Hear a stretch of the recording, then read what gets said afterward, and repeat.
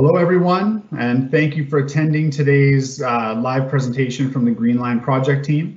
Uh, we're going to get started in just a couple minutes here. Um, just letting you know that we are here and we're really excited to have you with us. So please just hang tight for a few minutes and we'll get started momentarily.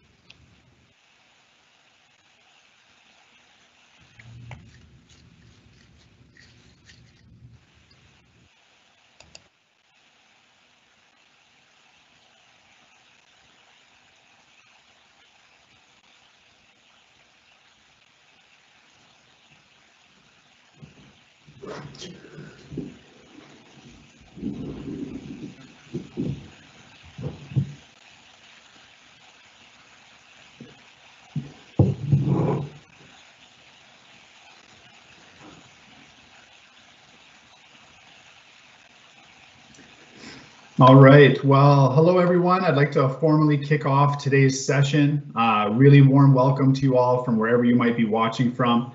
Uh, my name is Dylan Jones, and I'll be the session moderator for today. Uh, I've been doing public engagement on Greenline for about the last four years or so, um, and I've met many of you in your communities, in your community halls, in the places where you work. Um, and this is a little bit of a different session than we've done in the past, um, and I really want to welcome you here today. Um, today we uh, we have a, a, presentation lined up for you to give you an update on the stage one alignment for Greenline LRT project. We're also going to be hosting a moderated question and answer, um, so you can ask your questions and have them uh, answered by any of the subject matter experts that we have with us here today. Um, just a few notes before we get started. Uh, quick technology moment. Um, this is really one of the first times, uh, this is the first time this project team has used Microsoft Teams for a live event. And actually one of the first times the city of Calgary has used Microsoft Teams for a public live event like this um, since the outbreak of COVID-19 and all the precaution precautionary measures that people have had to take to stay safe and, and stay home. Um, today, I humbly ask you for uh, patience as we uh, as we work through this. Yes, we've tested it. Uh, we've ran through it, we've tried it out, we believe it should work well. Um, but there's always a little uh, possibility for uh, things to go a bit wacky uh, when using technology for a public event like this. Um, so thank you in advance for your patience. Um, I've reminded my teammates who will be presenting to close other browser windows or other applications that they don't need to be using. So hopefully the video stream will come into you uh, nice and clear.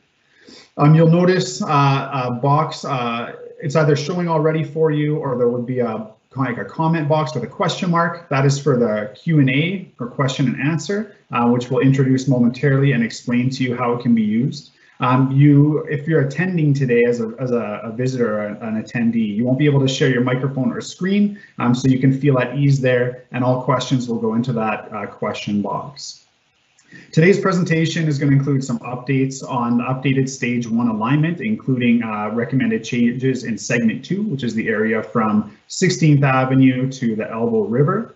Um, we have subject matter experts here to answer your questions. Uh, uh, the subject matter experts and project team will also be responding to some of the, the big themes heard through public engagement. And actually, maybe uh, quickly, I'll just touch on this because this is really following on a, a long history of engagement with uh, with you all and with the Greenline project team. Um, so we're uh, kind of coming to the end of our recent round of engagement. Um, we uh, we came out with engagement on this when when recommended changes had to be made to uh, stage one of the Green Line LRT to make sure that the decision makers, councillors, and project team members had a good understanding of what how the public and the Green Line communities were feeling about the changes being recommended. We asked you about the opportunities and challenges, and through doing that, uh, we received over 5,000 comments. Um, you'll see we got a, a large amount of comments on our website. Um, which we ended up keeping open longer once we were directed to not host public events anymore. Um, so we had a large number of visitors and a large number of comments shared online. Uh, the last time we may have seen each other was actually at uh, Crescent Heights open house. We had 316 people attend that open house. It was a big event, um, and it was uh, it was really good to see passionate community members there writing down their comments and asking questions they have about how this will affect their community, which are great questions to ask, and we appreciated you being there. Uh, we had six pop-up events throughout the city to kind of catch other Calgarians who may not uh, have come out to an event otherwise, places like grocery stores or train stations. Um, and we also had a storefront set up in Crescent Heights on the Tigerstead block, uh, right next door to and Found Coffee. Um, and we had about 115 guests come through there um, over the course of about a month when we were open on Wednesdays. In doing the engagement, uh, we uncovered, uh, you know, how the members of the public are feeling about the recommended changes. And there's not one way to describe the, the feeling of the changes. Oh, my screen just went off there. It should be okay. Uh, just a reminder to my presenters to uh, hang tight until you're asked to share the screen. Um, and no worries though, we'll just keep moving along. Uh, I was just saying that we've we received about 5,000 comments from you. I've read through all of them. They've been shared with the project team. Um, your comments are taken to heart and are part of the decision making in addition to all of the other constraints and decision making factors the project team has to consider in doing this. Um, I'm going to introduce Quinn Eastlick right now just to go over the moderated Q&A. Quinn, I will send you live.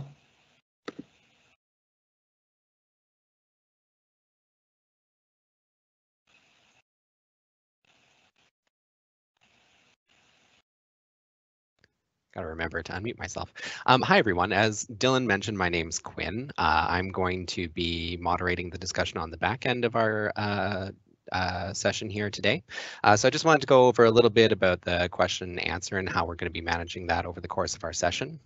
Um, first, I just want to echo Dylan's comment and thank you guys all for attending. Um, so in terms of the questions, we're going to be tracking those as they come in.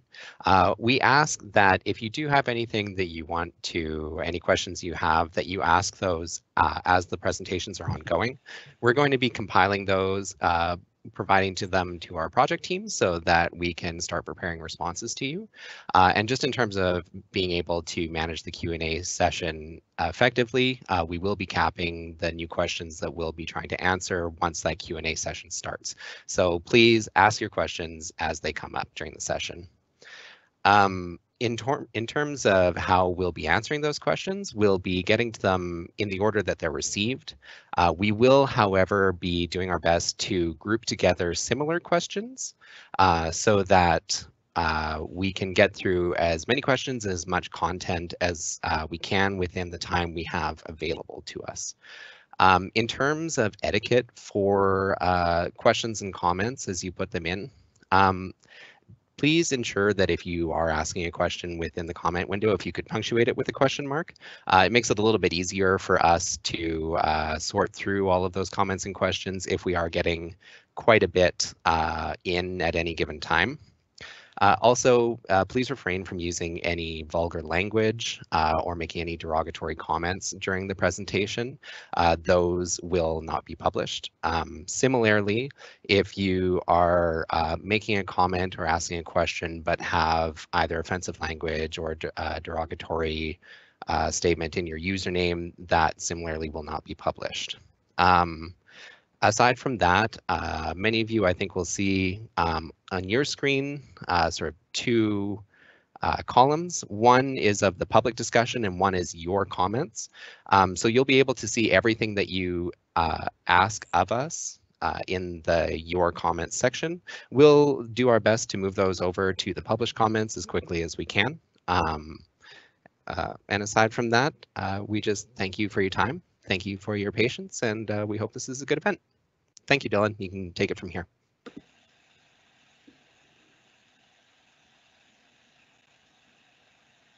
All right, thank you, Quinn. I'm going to introduce Graham Jarillo in a moment. He's the Senior Manager of Planning for the Green Line LRT. Um, just before I do that, I'm going to let you know, once again, this presentation will be recorded today and will be posted on our website within the next two days.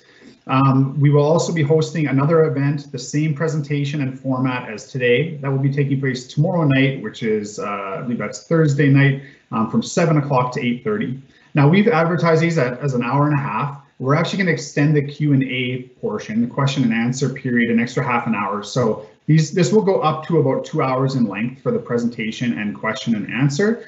Um, and we're going to do our best to get through as many questions as we can today. With that, I will introduce Graham Jarillo to take it away for his presentation.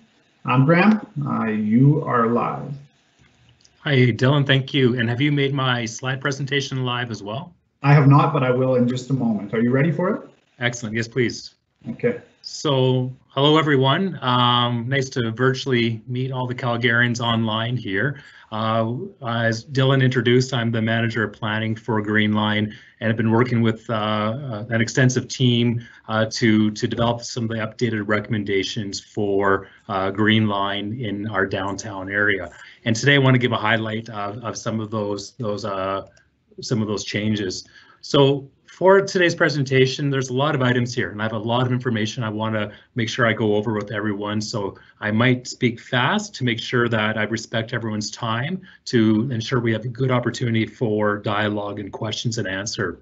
Uh, but you can get a sense on the, the agenda here that we'll give an overview on the, the vision of Greenline, uh, why Green Line actually in light of you know the current COVID situation and Calgary's economic situation. Uh, then we'll get into details to talk about what the segment two recommendations are that we'll be bringing to City Council on June 1. And many of you that were at the engagement events earlier this this winter, um, I'll be touching on what we shared in March and then also some of the things that we've been exploring since we last saw you. I'll, finalize with next steps and then we'll turn it over to the team to, to provide some more detailed information after this presentation.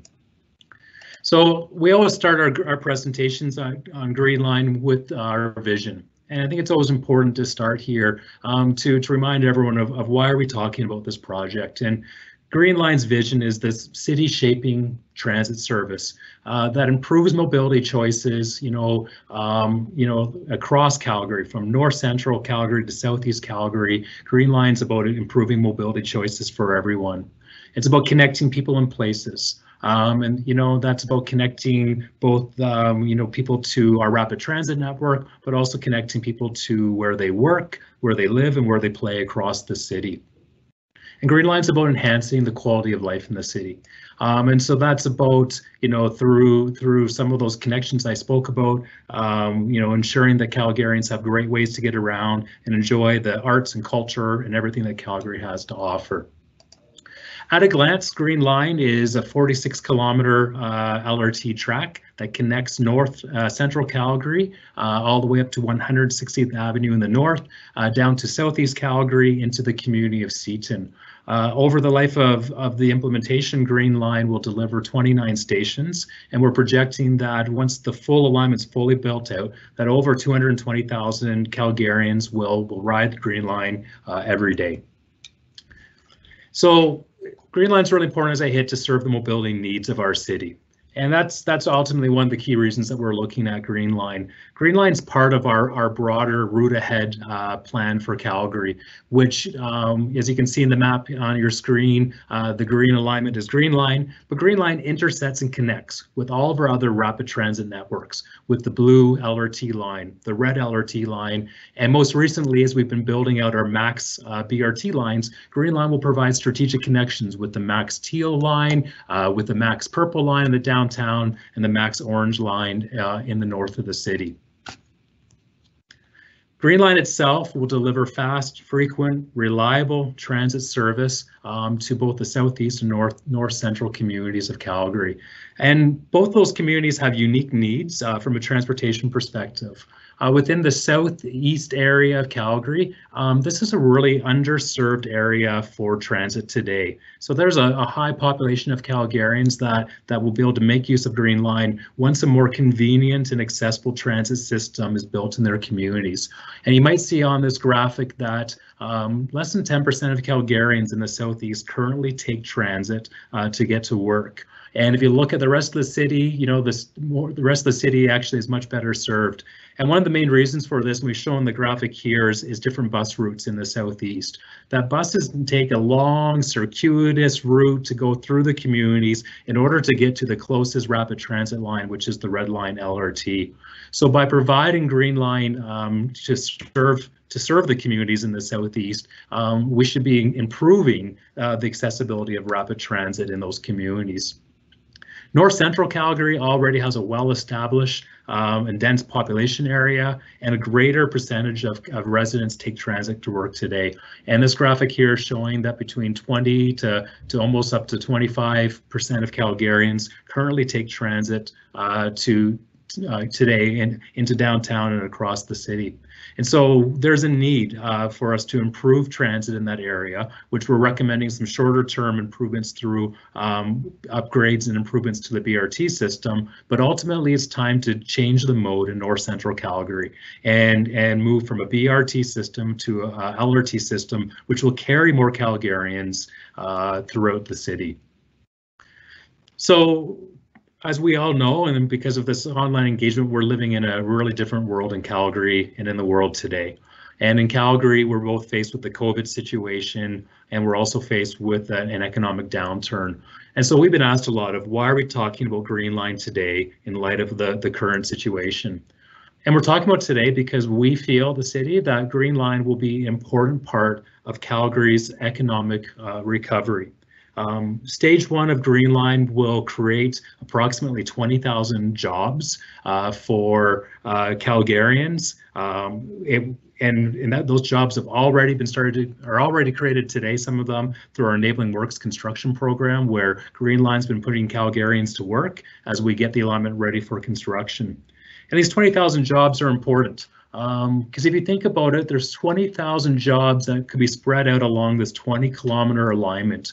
And so wherever there's construction sites, we know that there'll be workers who will want to be buying lunch, uh, buying coffee, perhaps buying groceries on their way home from work, and, and basically spending dollars in the community and across the Green Line uh, alignment area. So that's that's one important reason why we're looking at Green Line today. Also, we feel that moving forward with Green Line today really readies Calgary for tomorrow's recovery. Calgary's economy and our health will improve moving ahead with the project today will pay off uh, for Calgary and to help us with our overall recovery. And, you know, I use a graphic here to show, and this really looks at uh, Calgary Transit ridership over the years. And highlighting in this graphic in the 1980s, um, you know, we were facing an economic uncertainty in Calgary at that time. But the city as a whole chose to invest in infrastructure projects like LRT, in fact, a new arena in the 1980s, and other infrastructure projects. And we felt that this paid off. And by the time our economy rebounded in the 90s, there was infrastructure in place to support our growing and prosperous city. So moving forward with Green Line today, we feel we're ready Calgary for tomorrow's recovery. And then another key point I want to emphasize is that Green Line's a long-term investment. It's a long-term investment in the growth and development of our city. Uh, we're building Green Line to serve the, the growing transportation needs of our growing city. And this is both for today and for future generations. And so this graphic here even paints a picture of, of where Calgary's population was focused in, in the early 1980s. And you get a sense of how our city has grown uh, out to the outskirts um, over the years and how our population has doubled over time. You know, as a city, we, we envision that our population will continue to grow. That said, you know, over the short term, um, growth might be slow on account of COVID and the current economic situation, but we expect that the city will will bounce back. Uh, we have a resilient city. Uh, we'll bounce back, and and we'll Green Line will be here to help support that growing city in the future. And I guess finally, it's important to note that that Green Line, you know, is also important to be part of Calgary's uh, global competitive advantage. Um, Calgary, like many cities, are attracting residents and economies to come move to their city. And so Green Line, we feel, will attract new businesses and that young, talented workforce that we, we look for in our growing city. So I want to jump into how we're delivering Green Line. So Green Line, um, first of all, I guess it's important to, to demonstrate that we're committed to delivering Green Line within our $4.9 billion capital budget. And this is actually why we're here today, is that we've been making some changes to the alignment to ensure that we're comfortable that we can deliver the project within uh, the budget that we have. Um, green line will be delivered overall in stages. Uh, just as how we delivered the red line and blue lines in Calgary, we built those in stages, uh, starting in the, the center of the line or in the core and making our way, uh, you know, north and southbound from, from that area. And so we chose this current alignment as our starting point from Shepard or 126th Avenue in the southeast to 16th Avenue in the north for a few key reasons. Um, this alignment gives us the great and optimum uh, ridership, probably the best ridership we can get in different permutations than opening day. Uh, the project's ready. We've been acquiring land, preparing the land, um, you know, to to get ready for Green Line. Um, and also this alignment meets some of our key prerequisites that um, when we build a new system, we need to have space to build a maintenance and storage facility for all of the uh, our LRV fleets. Um, this also meets a prerequisite that it provides these strategic connections to the to the BRT system and into the downtown. Um, but also this alignment is important because it allows us to have uh, ease, easy and incremental expansions both to the north and the south of the system to allow the system to grow similar like the blue and red lines had. So we'll be delivering the first stage of Green Line, which is 20 kilometers, and that alignment will be from 16th Avenue in the north to the community of Shepard in the southeast. Um, and we anticipate that this this alignment will will uh, carry 65,000 riders each day, uh, connecting them to 15 stations across the alignment. So why are we updating the stage one alignments? So we're updating the stage one alignment for really three key reasons that that we let City Council know last July that the cost estimates for the project were exceeding our capital budget by around 10%. So that's by around half a billion dollars. So we needed to make changes to make sure that our design for the project could be delivered within our budget. But we also wanted to manage risk. We wanted to manage construction risk um, because risk costs money. Um, it also could cause delays in the project. And so we wanted to make sure that we had a lower risk project uh, for, for optimum delivery. And also we wanted to make sure that we're delivering the best value to Calgarians and providing the best experience for Calgarians. And one of the, the higher cost items in the project was the tunnel in the downtown area, and as well as some of the deeper stations that we're building. So we, we wanted to find ways to shorten the tunnel, uh, shallow the depth of the stations to reduce our construction risk, but also to improve that overall user experience. Uh, I just realized I've been looking at the wrong slide, so I think I'm on the what is the updated stage one alignment slide. So, so the updated stage one alignment that we're bringing forward for City Council's consideration on June 1 is shown here. It includes uh, the original stage one, which goes from 16th Avenue in the north down to the community of Shepard in the south, and we split this into two segments. Segment one goes from the community of Shepard to the Elbow River, um, and really, we've made made no changes to that area. And in fact, we're ready for that area to go up for procurement uh, for construction uh, contractors to bid on uh, later this summer. Segment two, which goes from the Elbow River to 16th Avenue, we've made some we've made some revisions to the alignment and station locations in the area, which I'll walk you through on that with you today. We're also recommending that we implement some improvements to the North Central BRT. And if you remember that earlier graphic where I was showing that 20 to 25% of Calgarians currently are taking the BRT in that area, we want to make sure that we're improving and enhancing uh, that system uh, to support Calgarians in that part of the city as they wait for the next stages of the Green Line uh, to, to expand into their communities. So zooming in to segment two, and this is where we'll focus our dialogue on really for the rest of today. Uh, what we're showing here is our recommended uh, updated alignment. And this includes a surface running train on Centre Street in the north with a surface station at 16th Avenue. And in the last uh, while, we've now uh, we've now introduced that we'd like to recommend 9th Avenue Station also be included in this alignment, and I'll touch on that shortly.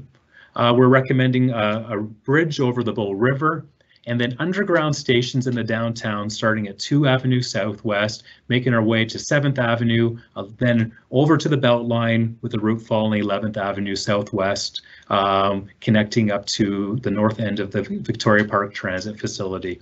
And so maybe at a glance, this graphic here might be helpful to help articulate the difference between the areas. And really the main differences are that we've reduced the length of the tunnel by one and a half kilometers. Um, we've introduced a bridge over the Bow River instead of a tunnel under the Bow River, a surface alignment on Centre Street instead of an underground alignment. And then in the Beltline area, where we used to have the alignment following this S-shaped curve from 12th Avenue going north to 10th Avenue, we've brought that whole alignment onto one, one route onto 11th Avenue. Um, and that now is, will be all completely underground with two underground stations in the community. As well as I mentioned, um, we're recommending some improvements to the North Central BRT, and these would be to improve both customer service and also transit priority uh, to help address some of the congestion issues on Centre Street today. So I'm going to quickly walk through our, our, the segment two alignment through four focus areas. And when we go through these focus areas, I'll, I'll highlight some of the information that we shared at our public engagement in March, um, and, and also that was online over the last few weeks. Um, and then I'll touch on some things that are, are new or some changes we've made uh, since we last met with you in person. So first, starting with Centre Street North, um, what we shared with you in March is that there would be that surface running alignment. We shared some renders to show what the street might look like with a surface running train, including what the 16th Avenue station might look like and what the public realm, so the sidewalk area might look like in areas with both wider and narrower sidewalks. We also shared with you at that time our commitment uh, to implement streetscape improvements along Centre Street as part of that surface alignment. So we're committed to building new sidewalks, providing new pedestrian-oriented street lighting to provide a consistent level of light across the, the street at nighttime, and providing furniture like benches and bike racks and uh, waste and recycling bins, and also planting trees where, where the space and, and opportunities permit. So we shared renders with you um, back in March of what, in this case, what the 16th Avenue station might look like, uh, which is the terminus station of stage one. So this is the area where the trains will turn around uh, from coming from the south and turn around to go back down to the southeast. And we're showing in this graphic what a wide public realm might look like in areas where the sidewalk is wide enough to provide space for uh, trees to be planted, in addition to the other amenities that, that we'll be able to provide along the entire corridor. In areas where the, the sidewalk is a bit narrower, there won't be opportunities to plant trees, but there will still be opportunities to bring in some public realm improvements uh, to really reinforce that pedestrian environment that we understand is so important to the business and residential communities in Crescent Heights area. The design of the street still is not complete. We've been sharing ideas of what it might look like, and we'll want to do some work to engage with the business and residential communities in the fall to better define what the character is of the street that, that the communities would like to see in this area. When we last met with you, we shared what we were still exploring. And so we mentioned we're exploring consideration to add a 9th Avenue station. Uh, we're exploring with the LRT operate in the middle of the road or at the curbside. Uh, we were exploring how vehicles could turn left into the community and to access businesses. Um, and we're also exploring uh, how we can improve the BRT priority along the entire corridor. So what we've recommended through through some evaluation is is to add the 9th Avenue station into our recommendation to City Council. Um, this station we feel will uh, help unlock development opportunities in the area and understand that it will now create a destination with the community. Uh, as we heard from many citizens that there is concern that without the station, the train would drive through Crescent Heights but not have a stop in the community itself. And so we're showing you a rendering here of what that station might look like. We also built a recommendation to have the trains operate in the middle of the road versus the curbside. And we feel that operating in the middle of the road strikes a really good balance between the community's desire to have pedestrian public pedestrian and public realm improvements and as many opportunities as possible to plant new trees along the street. Uh, the middle running train provides safe movement of pedestrians, vehicles, and LRT across the corridor. And also maintains good left turn opportunities at signalized intersections, which I'll touch on in a minute, which can provide access and circulation into the businesses in Crescent Heights and also into the community overall. So I've touched on the, the left-hand turns. And so as, as part of the recommendation, uh, we're recommending that left turn bays be provided at four different intersections in Crescent Heights, 7th Avenue, 9th Avenue, 10th Avenue, and 12th Avenue. Um, 12th Avenue will allow north and southbound left-hand turns, while other avenues will be restricted to certain movements on the street. And these these left turn bays are really in almost the shadows of where uh, shadows of some of the the uh, surface running stations in the area. One of the other changes that we're recommending to Centre Street is that we really support BRT and express bus priority along the along the entire corridor. And so what we're recommending is that the BRT buses will be able to operate within the LRT guideway in the middle of the road. So the LRT guideway will be concrete with tracks embedded in the concrete, similar to our trains in the downtown area. And that will allow BRT buses to operate in the same alignment with buses, which will help express buses have greater priority to move through this area. Because as we know, sometimes on even Centre Street today, there's there's congestion in the traffic and the BRT is delayed for movement. We're recommending that that BRT priority be extended across the Centre Street Bridge as well um, and transition into the downtown area. So we're recommending that we repurpose the, the layout of the bridge so the two middle lanes carry a BRT and express bus priority. Um, and we've also provided a couple new renders, which are on our website. Um, and some of the renders were because we heard um, some comments from citizens that we always show pretty renders in the summer, don't show what a street might look like in the winter. And so we wanted to give an, a feeling of what still a great pedestrian realm in a station could look like in the winter. And certainly there's been concerns that we've heard that the LRT might not be able to operate in the winter. Um, this LRT, like our current red and blue lines, will have no issues operating um, in, in snowy situations. Uh, we've also provided new renders to give a sense from a motorist perspective of what the street might look like, what intersections might look like. So if I can move over into the Bow River crossing, what we shared with you back in March is that um, we're recommending a, a, bridge to cross the Bow River. And we were sharing with you at that time different bridge types that we were exploring and some renders um, to help um, Calgarians understand what the bridge might look like um, and how might it land in different areas. And so we shared um, with you in March that there's four main bridge types that we're exploring. Um, the constant depth viaduct in the top left, trestle bridge on the top right, tied arch bridge in the bottom left, or cable stay bridge in the lower right hand side. And we don't have a design for the bridge. These are just renders to show what different form types might look like. And the intent of showing these forms was to, was to start to receive feedback and get you thinking about what form types are you interested in. Um, are you looking for something that that might stand out more, um, like a, a cable stay bridge or something that seems to disappear more below the horizon line, like the constant depth viaduct bridge in the top left? And certainly we've been hearing a lot of, lot of feedback asking um, for a bridge that does start to blend more into the surroundings and not stand out as much, but yet still have some great urban design features with it. Um, we were also, so since we last met with you, sorry, uh, what we what we were still exploring, we've been exploring the the alignment of the bridge and looking at more how the curves of the bridge might vary. Um, we also were considering use of a multi-use pathway, and we also heard requests to provide some new renders of what the bridge might look like from Prince's Island Park. So as we've been looking at the bridge design, uh, we're actually playing with some different alignment variations. So different shapes of that S of the curve, of that S-shaped curved bridge. Um, and so we're showing you this graphic to give you a sense of different permutations that we're exploring. So that way you understand when you do see a map that shows a single line over the park, that the line, the line itself might change over time. And that's really dependent on how we finalize the design of the, the station at 2 Avenue and exactly where that station uh, ends up being built. And will also be determined by where we decide to put the piers or the feet down into the park. And that will change some of the curve.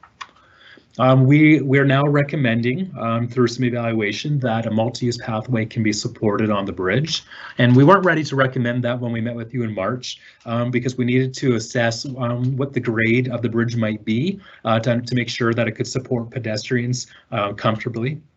and also to ensure that there were some good connection points on the north and south areas of the bridge.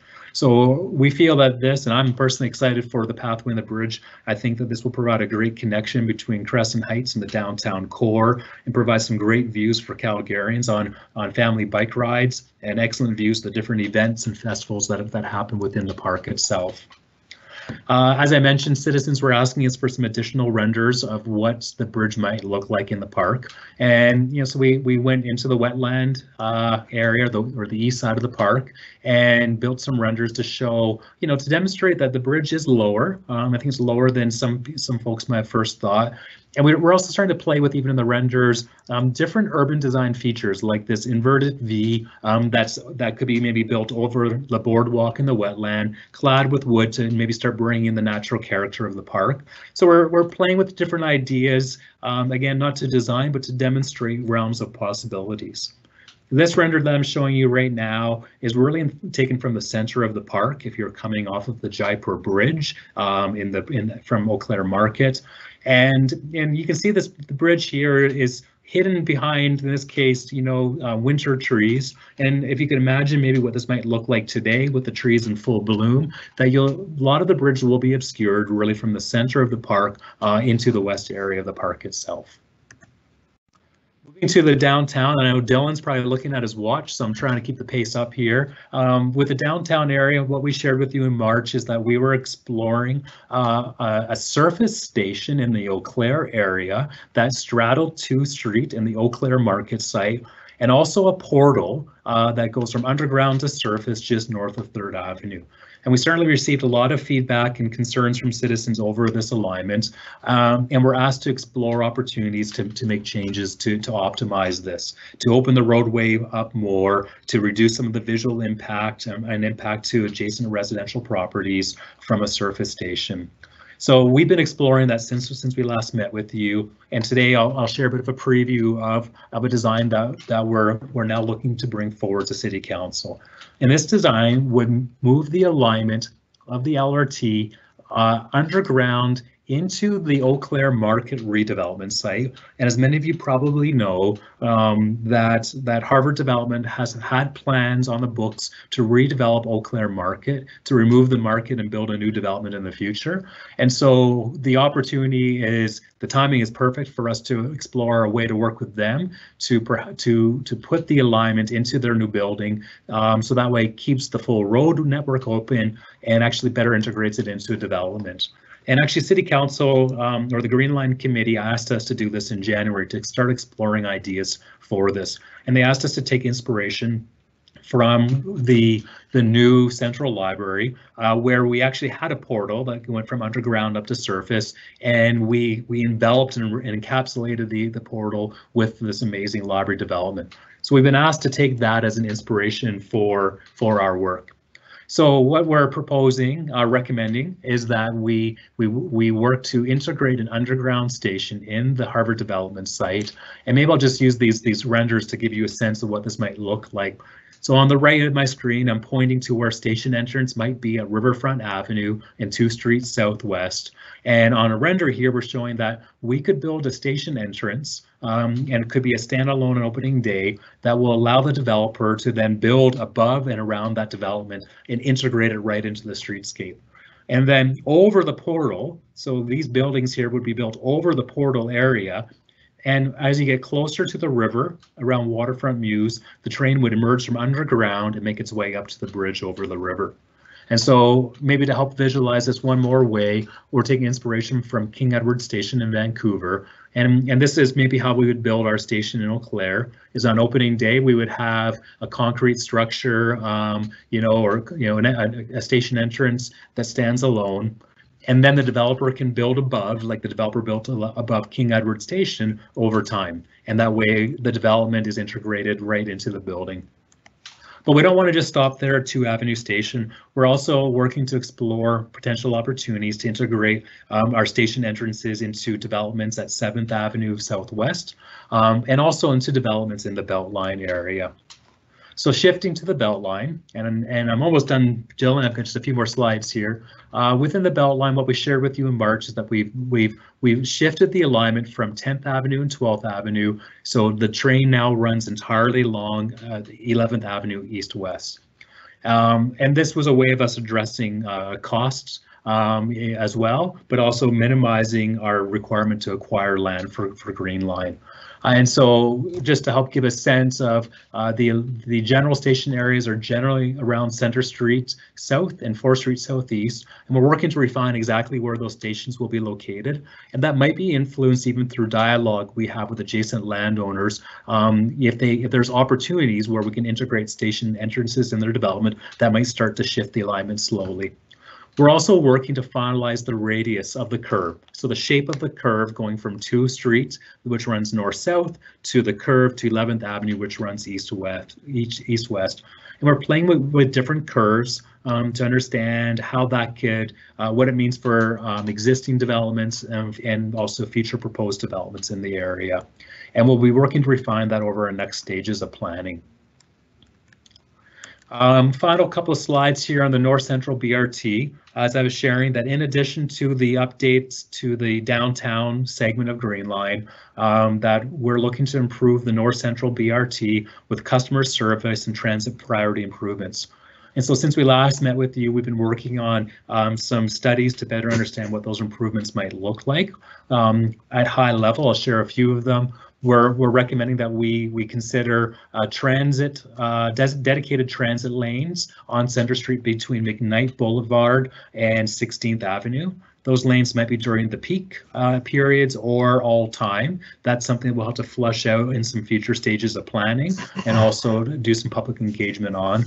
Um, in other areas, we're looking at some kind of some some quick some quick improvements, like providing uh, a queue jump at the intersection of Harvest Hills and 96th Avenue. So basically providing priority so BRT buses and other buses can can make their way through an intersection ahead of other traffic. Um, and in the downtown area, we need to look at a more thorough review to understand how we can improve bus operations in the downtown core area. So for for next steps on the project. Um, we are going to the Green Line Committee on June 1. Uh, we'll be sharing this presentation and these recommendations with, with those councillors at that time. Um, public like yourselves are all invited to come speak at City Council and share your feedback on our recommendations. You can provide written submissions um, on or before uh, or, or, or by 12 p.m. on May 25th. Um, you can also come speak at the committee session. Um, speaking, I understand, will be online, so by phone, I believe it is. And if you wish to speak, you could email city's city clerk's office at the email address on the screen here to request a speaking slot. Um, you can request to speak uh, up until the day of, of Green Line Committee, and I understand that they'll be accepting speaking requests while the public uh, input portion of the agenda is still open. Pending council's uh, approval or decision on the changes that we're recommending, uh, our planning team is prepared to then advance the next stages of planning. And so there's a lot more planning work that we'll, we need to do to get ready to go to, to get to construction of this. Um, and we show on the screen here some of what that might look like from a functional plan uh, over the next few months, which will start to to finalize the alignment and the curves and the depths and locations of stations. Uh, we'll also start working with uh, adjacent land developers to explore potential integrated stations. We'll be advancing the planning for the Bow River Bridge, uh, streetscape planning for Centre Street and 2 Street in the downtown, and also undertaking some mobility studies. And the team will touch on some of these as they present later today. So Dylan, on that point, I'm going to stop uh, my part of the, the presentation and, and pass it back to you for the next part of the agenda. Graham, thank you very much, uh, and I appreciate you knowing that I was uh, watching the time. You know me too well, and if any of your work nightmares have to do with me telling you to watch the time, then I'm sorry, or maybe I'm giving myself too much credit. Um, just a reminder of what something Graham mentioned there, the information for Greenline Committee is posted on engage.calgary.ca slash greenline. Um, so you can find more information there and we'll always post new information uh, there on that website. Again, this presentation will be shared online within the next two days. Uh, right now, we're going to move into having some of our subject matter experts uh, respond to some of the big themes they heard through engagement. Uh, we're going to start with mobility, and I'm going to introduce Dave Thatcher to speak to that. Um, Dave will speak for about five minutes, and after that, we're going to have Josh Workman and Carly Silver speak to the river crossing and environmental considerations. Um, and following that, um, we have Andy Payton, who will talk about noise and vibration. At that point, in about 15 to 20 minutes, we're going to open up the Q&A and all the questions that have been coming in, which I've been seeing come in, thank you very much, uh, will be asked of our subject matter experts and they'll begin to answer all those questions you've been asking. Um, so with that, I'm going to send it live to Dave Thatcher. Um, I'm just going to show you Dave real quick so he can say hi and then I'll share his screen live there. Dave, why don't you introduce yourself? Hi, uh, my name is Dave Thatcher. I'm uh, working closely with Graham on the, the planning aspects, and today I'm going to be speaking a little bit about the uh, mobility pieces and the questions that have uh, come up with the recommended plan. All right, thanks, Dave. Your screen should now be live. Excellent. Well, momentarily. There we Let me know when it's live. You're good. Okay. So just going to run through the different sections of, of segment number two. Um, so the image you see right now is of the the belt line, and it's uh, what it's showing you is that the train is going to be fully underground in these areas. So once the train is constructed, there will be no impact to vehicular traffic along 11th Avenue uh, with the train underground.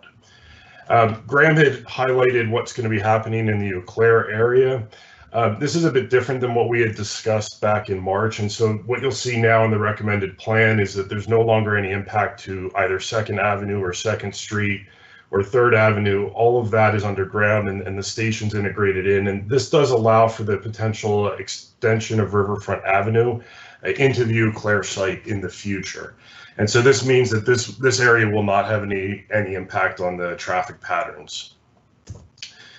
Then as we make our way up to Centre Street, um, there's been a number of questions about what that interaction is going to look like uh, between the LRT and vehicular traffic. So in the northbound direction, as you see on the screen, vehicles will not be required to stop as the trains are moving, but the southbound vehicles will be required to stop uh, for an LRT signal at that location. And so that's very similar to what will be happening further north in the corridor where there's a single lane of traffic in each direction and vehicles will be required to start, stop for the uh, cross traffic that happens.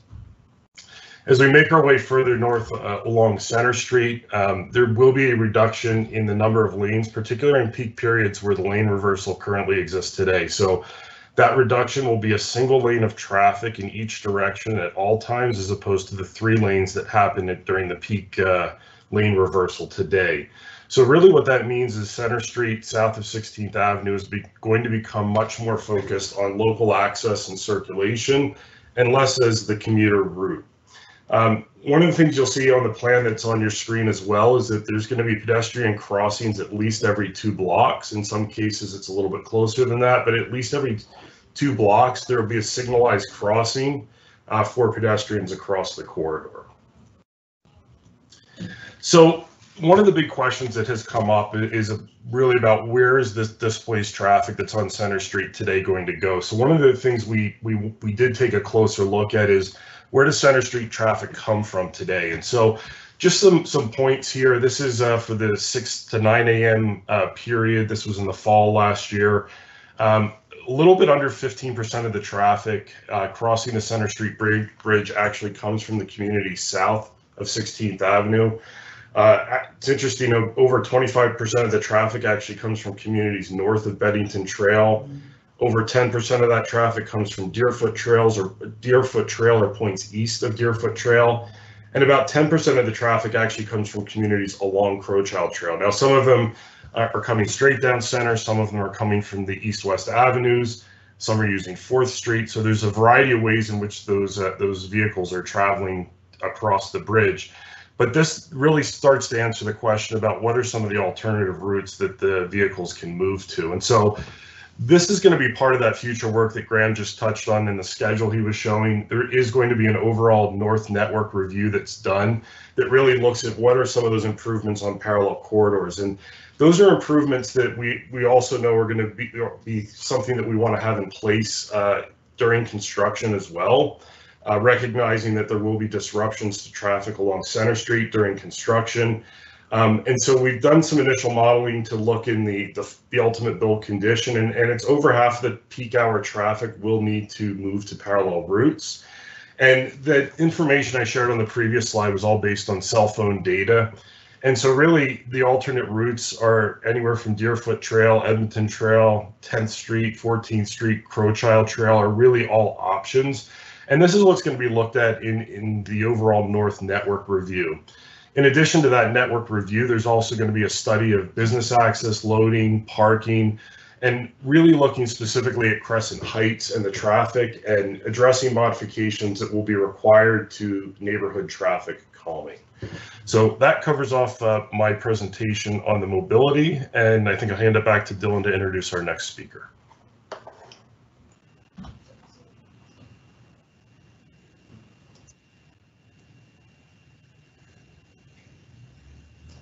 Dylan, I think you're muted.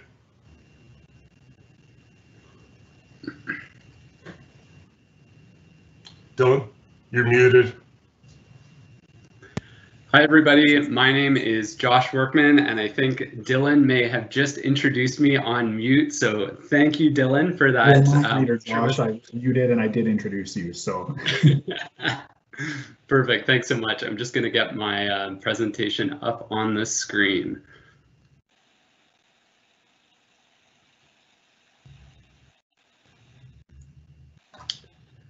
Let me know when you can see that there, Dylan. Okay, I just saw it come in, so I'll send it live in the next couple seconds here. Sure.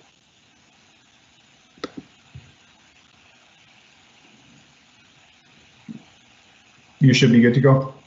Excellent. Thanks, Dylan. So building on some of what Graham talked about with respect to the Bow River crossing, we wanted to just help answer some questions that we've heard from stakeholders uh, in the first round of, of public engagement. And the first question um, speaks to the um, speaks to the tie-in requirements for the Bow River Bridge. And so we know that we want to tie into Centre Street to the north and Second Street to the southwest. Uh, so some form of curved crossing of the Bow River and Prince's Island is required for us to make that connection. The bridge um, will need to be defined by our limiting LRT design criteria. So the radiuses for the curves that we use on the bridge will have to meet what the LRT vehicles need to travel um, over, over the bridge crossing. Um, but we do know that there is some uh, variation that, that will be possible for us to explore as we get into the design phase. And so as you can see on, on the screen, this will allow us to consider the um, integration with the Harvard site to the south, um, the exact geometry of, of how we tie into Centre Street in the north, and the alignment over the uh, over the Prince's Island Park. And this is something that we know is really important to, to Calgarians, and uh, we we understand the um, consideration that will need to be taken to really carefully understand how to make this alignment work from an environmental standpoint and from a user standpoint for for all of us who like to go down and spend our time on on Prince's Island Park. And this is something that that we will be further exploring and better understanding to uh, refine and land on that alignment at the next stage of the, the project. We also heard um, in our previous round of um, engagement that there was a desire to better understand what might the bridge look like on Prince's Island Park. And, you know, to further emphasize what Graham had uh, shared before, we, we have not undertaken bridge design work. This is really um, imagery that is used to help us collectively understand what a bridge might look like um, on the on the island and from different perspectives around the island. Um, so know that we are not presenting a recommendation of what the bridge will look like. Um, that is a process that will go through, um, you know, a much greater level of, of assessment and engagement um, uh, should council uh, approve the, the recommendations for the, the stage one alignment. So the first view here shows um, a perspective from the Chevron learning pathway looking west towards the center of Prince's Island Park. And similar to the image that Graham shared previously, it shows indication of how the bridge architecture might be able to be leveraged to show some form of a gateway um, to, to help demonstrate that crossing into the um, Chevron learning pathway and the overall uh, wet, wetland area. The next image shows an example of, of what the bridge might look like as you're walking along the west side of the wetland on the on the Chevron learning pathway and a perspective of you know how the height of the bridge might might feel at that location. Finally, we have a view from the, the center of Prince's Island Park looking east towards the bridge. Uh, and this view helps to demonstrate how the bridge will be screened um, by many of the mature trees that already exist at that location to help give, give a sense of uh, you know, what the experience of, of this um, bridge on the island might be for some of the events and programming that tends to occur more so on the west side of the island. So in terms of some of the um, next steps that we'll be uh, undertaking following the, uh, the council decision in June will be to better refine exactly how pedestrians and bicycles will be accommodated on the bridge. Uh, that's something that Graham mentioned we've reviewed and we will be and are recommending that um, people who walk and bike be accommodated on the LRT bridge, um, but there's uh, further assessment to determine exactly how, how that would best look. Um, in addition, the tie-in with the Riverwalk and Eau Claire Promenade is something that, that will be really important to, to consider and make sure is designed well, because uh, we know this is an important um, asset and an, an, amenity for the city of Calgary, um, but it'll require us to, to consider carefully exactly how that tie-in with the uh, with the Harvard site at, at Eau Claire is going to, to look. Um, and really then we'll be initiating some of the, the more um, uh, detailed aspects of, of the design. So this will include um, undertaking field investigations that are needed to understand the geotechnical conditions, the river conditions, the environmental conditions, and going through the, the detailed assessment and engagement process uh, to prepare a, a recommended um, bridge uh, with, with uh, the associated design and, and architecture for it. And we will be having a comprehensive engagement process um, as part of that uh, next step. So um, again, um, this would be an opportunity for members of the public to participate and share what would be important to them with this bridge. And with that, I will conclude my presentation and pass it back over to you, Dylan.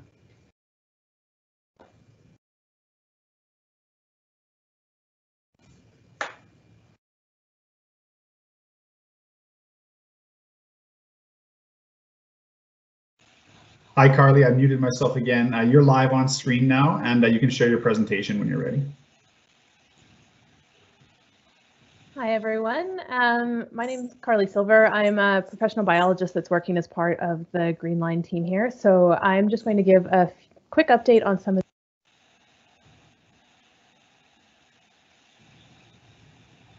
Uh, if everyone just sees the, that the live event will continue in a moment, um, just hang tight here. Uh, we're just waiting for Carly's presentation to be shared. Um, so we'll be just a moment. Um, let me see here. Is Carly, Carly may have been bumped off. Um, so we'll just wait for her to join on. Um, in the meantime, I'm going to let you guys know that we've peaked out at about 161 attendees today uh, joining in. So thank you to everyone who's been here, uh, about 161 people, which is great. Um, we're going to get to the Q&A in a moment. And maybe while we wait for uh, Carly to get back on here, we'll introduce Andy Payton. Um, Andy's going to speak to you a little bit about noise and vibration. Um, and when Carly's back in here later on, we'll bring her back in. Uh, we do know, I mean, I told you, I also read through a lot of, I read through every comment we received through engagement, and a lot of those were about concern for the environment and environmental impact of a bridge over Prince's Island Park. Um, so we know that's important to you, and we'll make sure Carly's presentation is up here as soon as she's back on. Andy, I'm going to send it over to you now. Um, so you are live, and you can share your presentation um, whenever you're ready. Okay, thank you, Dylan. I am sharing my presentation and I'll just get going in two seconds here. All right, do you mind just telling the folks what your role on the project Yeah, is? yes, my, my name's, my name is Andy Payton. I'm, uh, one of the lead, um, lead design engineers on the project. And I've been working on Green Line for, for a few years now. Um, most of it on the, uh, the center, center city downtown portion of the project. Um, so my presentation for you today is, is trying to address, um, noise and vibration and, um, to talk about some of the, the issues and how we deal with noise and vibration uh, with a with a transit project. So um, the what we first started out, we were looking at um, the, the the the noise and vibration policies that the city has in place. Um, what we we know is that uh, the existing transportation noise policy, although it exists, it is is not um, is not applicable to to LRT in in the fact that it really deals with traffic noise and and um and so with that it's more of that that constant noise that you you experience um, from from road traffic. With lrt it's it's more more transient where the noise um, happens while the train goes by and then it's then it's um then it's regular noise background and then the train goes by. So it has a different um a, a different way of looking at, at noise. When we look at vibration, um, the city doesn't really have um, guidelines for noise and vibration, but there is a, a study that was um, uh, and a, a document created by the city in 2016 that that talks about the um, the the the human response to vibration. Again, most of their work that work was um, was related to uh, road traffic and not specifically to LRT. So what we we've done is we've looked at other industry guidelines or standards that we could apply to Green Line to make sure that we are um, we are cr- creating a, a, a, a, good experience for for the for for the for Calgarians. So we looked at um, other noise and vibration um, guidelines that are internationally recognized, and the um, the U.S. Federal Transportation Administration noise and vibration impact assessment tool is is what we've um, decided to use. And what what this does, um, I guess, what's really important to know is that it's it was specifically created for transit. So it, it all of the things that that um, you know train that transient uh, uh, changing noise environment and the and the vibrations associated with with with with um, light rail transit are specifically addressed in this in this tool and um, and and this tool has been used in other Canadian uh, jurisdictions for similar projects. Um, the, the, the, the, the vehicles themselves are a, a, major contributor to noise and vibration. And what uh, what we are doing for Greenline is that we are we are procuring um, special specialized uh, low floor LRT trains. Uh, the, the you know state of the art um, modern trains that are are are built for for the type of uh, situation that we're we're we're involved in in, in Green Line. So these um, have to the requirements for procuring those those LRVs have specific noise and vibration constraints built into the specifications for the vehicles.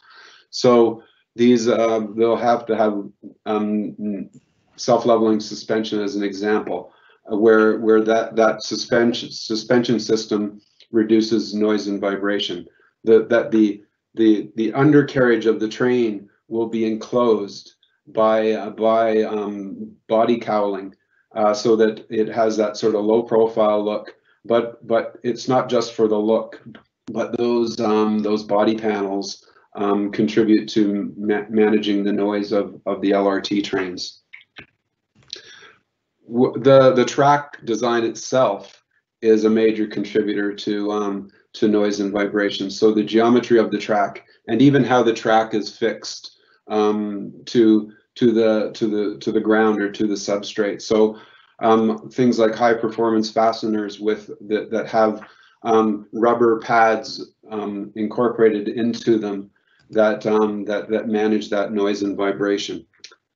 And the, the important thing to understand is that it has to be looked at as a system. So noise and vibration, if you look at a single component, you're not really going to find the answer or the a solution that that works. You need to look at it at overall as a complete system. You need to look at the track curvature, whether it's on a bridge or a tunnel, what the what the material of that bridge is what the ground conditions are as far as the geology. Is it rock? Is it gravel? Is it sand? Is it soil?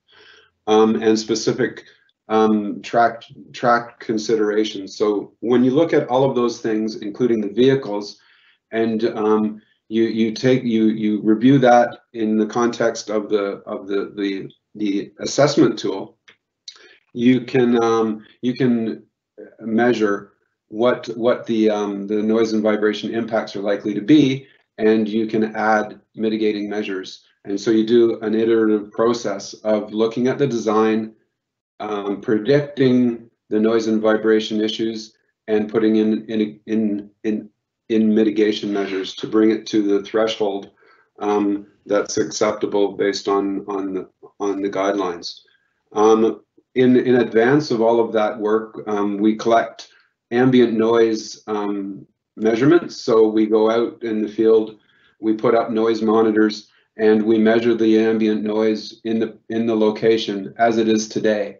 And so everything that happens when the LRT comes along is measured against that baseline. With vibration, we we we as part of the geotechnical investigation, we um we we we we propagate vibrations in the ground and we put um, sensors around and we we measure actually field measure the um, the vibration propagation characteristics of the soil and that goes into our model. And we we undertake that model again as an iterative process. So we do it during the preliminary portion of the design.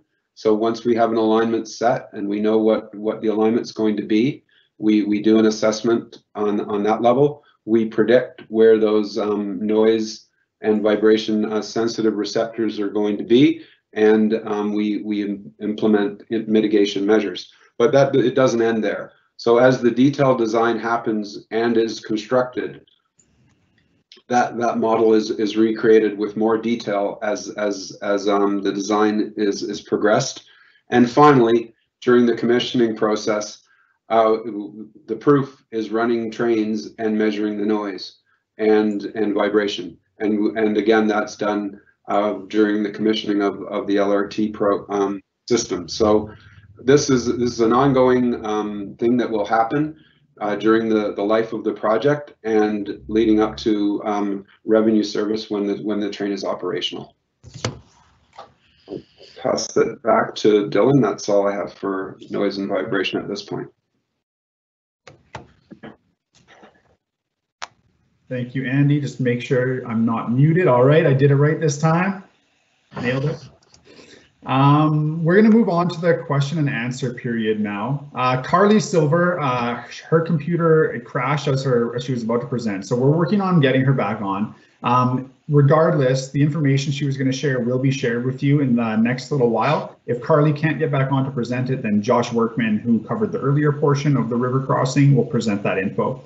Um, we're going to move, move to the question and answer portion now. Um, by the way, we're going to be sharing a survey link after this, so you can let us know how this went today, uh, both the technology for you as well as the format. Uh, I realize and appreciate that this was a long presentation up front before the Q&A, um, but hope that the information was valuable to you. And we'd love it if you'd shared that feedback with us in the survey link that we'll share. Um, we're going to move to the Q&A. I'm going to introduce Jess Connors and she'll just explain very briefly how she's going to ask the questions that are coming in. I see we've got a lot of questions and I'm not sure we'll be able to answer all of them today due to time, but we're sure going to try. And that's my reminder to our subject matter experts in your answers to give the question the time they deserve, but also make an effort to be succinct and try to strike that balance. So I'm introducing Jess Connors now to explain the Q&A. Hi, everyone. Um, yeah, so like Dylan said, we did get a lot of questions, so I'm going to try to go through as many as possible. Um, most of the questions we received were about uh, stage one in general, um, so I'm going to start with those questions and then I'll move through the focus areas. Um, so to start, the first question is, Uh, overall, is the Green Line on schedule to begin construction next year? Dylan, can you unmute me? Am I muted? You are okay. You're You good. can hear me. Yeah. Yes. Okay, my computer says uh, you can't hear me. Sorry, uh, I'm wasting time. Um, yeah, so uh, that's a good question. Construction is actually underway right now on our enabling works program. We have some projects that are underway today, some that will also begin up next summer. Construction for the main contract in segment one uh, is anticipated to begin in 2021. We will be putting our request for proposal out for construction companies to provide designs and bids of segment one uh, in July, and we anticipate that by 2021 they'll be ready to start work. Okay, Jess, next question, please. And I'm going to leave it on Graham because if they're general questions, they might be coming back to Graham. So Um, okay, so the next question is, are the ridership forecasts public documents and where can I find them? So we will be sharing uh, updates on our ridership projections for each of the station areas. We're actually doing some uh, extra due diligence right now to re-review our models and assumptions before we go back to City Council on June 1. So the reports in June 1 will contain some of the updated uh, ridership projections. Okay, uh, next question. Uh, what is the latest cost projection figure? Oh my gosh, Sorry. this is working from home, my friends. So we're all doing our best here. And that's why I had that technology moment at the beginning. A baby might cry, a kid might walk in, or a dog might bark, and, and that's okay. Go ahead, Jess. Sorry, I saw the guy coming up and was like, whoa. Uh, Okay, so the next question is, what is the latest cost projection um, for the project and how many kilometers of the line will we get? So uh, the- our project cost estimates are within our $4.9 billion budget. So through this exercise that we've been working on to make changes to segment two, we've been able to bring our project costs uh, into our capital budget. And for that $4.9 billion, we will be able to deliver the full 20 kilometers of stage one. Uh, Okay, uh, we'll do a couple more general questions. Um, Why are you using low floor trains? Uh, This seems like poor planning. Are the high floor trains actually a viable option? Yeah, that's a good question. And actually, I I was just going to play, Dylan, if I can share my screen in a minute here. Yeah, absolutely. but I can't because I my computer's super slow right now. Um, so I so I won't share my screen. Um, but when it, when it comes to low low floor trains is is really uh, what what many companies are manufacturing today. Um, high floor we still have in Calgary and can still order on special order if need be. But low floor allows us to better integrate the LRT system into the urban environment. And so some of those renderings that I was sharing today on Centre Street, um, that allows the train to operate where the platforms are at curb height. So they better blend into the streetscape and the public realm in a much different way than our current existing high floor fleet does.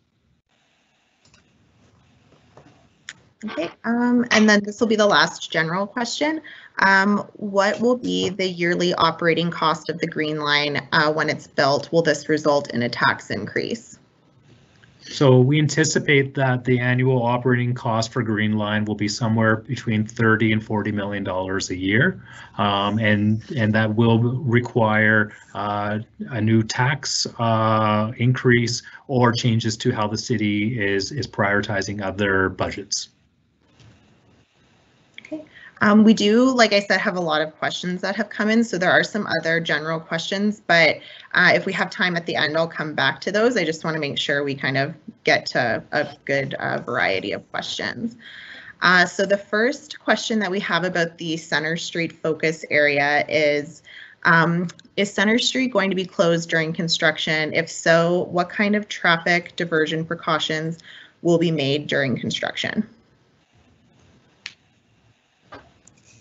Would that be Graham or Dave taking that question? I, I could take a stab, or Dave, do you want to jump in? Sure. Or, sorry, I think we had Agnes lined up for this Oh, one. sure. Yeah. Um, can you guys hear me? Yeah, Agnes, they haven't seen you yet, so maybe you could just introduce yourself briefly. Okay. Hi there, my name is Agnes Zakowski. I'm part of the Green Line consultant consulting team. I've been working on the Green Line with this team for for a few years now, focusing on this on the on the center city. Um, in terms of construction, um, access closures and uh, impacts to the community, not only does this apply on Centre Street North, but as well in the downtown. Like Dave was mentioning in his mobility presentation, impacts during um, constructions will be will be assessed from a mobility perspective. So really understanding where are people going and how they're getting there, not only when the Green Line's built, but while while it's getting implemented all of that is uh, is part of the next phase of the project where we're going to take a closer look at that at exactly how the green line's getting constructed and how those impacts will be mitigated. So stay tuned for that. More details in the next uh, in the next uh, few months and year of study. Thanks. Um, the next question for Centre Street is, uh, please explain how businesses and traffic can be protected in Crescent Heights from construction closures, removal of parking, and impacts due to lower traffic volumes and accessibility. I think I'll I'll take that one, Dylan. Okay, one moment, Dave. All right, sending you live now. Okay. So one of the, there we go. One of the key things with uh, the, the proposed plan is that there won't be on-street parking on Centre Street. So one of, the one of the studies that will be conducted is looking at opportunities to create additional parking off of the corridor. So that's one of the ways that the, uh, the businesses will be supported um, from that manner. Um, And sorry, could you repeat the rest of the question? Uh, sure. So the question again was explain how businesses and traffic can be protected from construction closures, removal of parking, and impacts due to lower traffic volumes and accessibility. This is in Crescent Heights. Yeah, and, so I think, I think just the construction piece of that question, um, there's going to be different points where there's different impacts along the corridor, but that's obviously going to be part of the, the, the uh, contractor that is responsible for construction of working closely with the, the businesses and um, I don't know, Graham, if you want to speak really briefly to the, um, the, the program for supporting businesses as well throughout construction, uh, or if there's somebody else that wants to speak to that, so. Getting a thumbs up from Graham, so you can go ahead, Graham. I'm happy to jump in. Um, so, so businesses on Crescent Heights, as all businesses in Calgary, are important to us.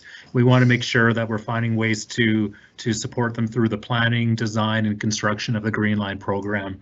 Um, so, we're building a business support program on Green Line that aims to help businesses prepare for construction and also to help support them throughout the life of a construction program. And so from a prepare perspective, um, that might help them understand what our construction plans are um, to help them think about even ways that they might uh, make some changes to how they operate their business. And I don't say this, I say, I'm not saying this is the city suggesting how to change, operate your business, but to think about um, some of the opportunities that construction might present. And I know as I've spoken to businesses in other areas where LRT construction has occurred, they actually enjoyed the benefit of having construction workers buying lunches, um, coffees in, in their areas. And so if we can help businesses on Centre Street prepare for those possibilities, that might help them be extra successful during construction.